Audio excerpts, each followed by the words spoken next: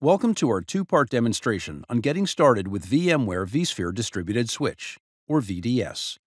In Part 1, we cover the steps involved in creating a vSphere distributed switch. And in Part 2, we cover migrating the hosts and the VM networking traffic to the vSphere distributed switch.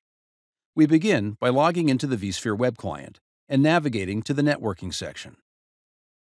We go into the VMware Data Center and then choose New Distributed Switch. Assign a name and choose the version of distributed switch you wish to deploy. We will use the 5.5 version for this demo. Define the number of uplinks. We set them to be 4. We will leave Network I.O. control enabled and uncheck Create a default port group. Click Finish. And we now see our new distributed switch. Notice that we have a default network on our standard switch. We have no distributed port groups, and we have one uplink configuration that was set when the distributed switch was created. Let's create a new distributed port group. Click on the new port group icon, assign a name, vMotion, and select the distributed switch. Change the binding to ephemeral, choose the VLAN type, and specify the ID. Check the box to specify additional details and click Next. We retain the defaults for security and traffic shaping and proceed to teaming and failover we change load balancing to route based on physical NIC load.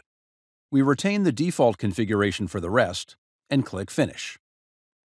The vMotion port group has been created. Next, we need to create our management port group. Right-click on the distributed switch and click on New Distributed Port Group. Assign a name to it. We'll use static port binding, which ensures our management switch ports are statically assigned. Configure the VLAN details and check the box to customize policy configuration. Here as well, we retain the defaults for security and traffic shaping and select route based on physical NIC load for load balancing. We take the default for the remaining settings and click Finish.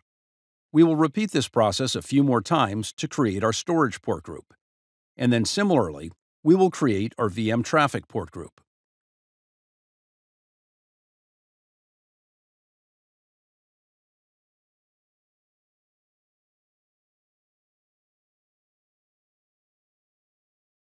Our last port group is the VMnet port group.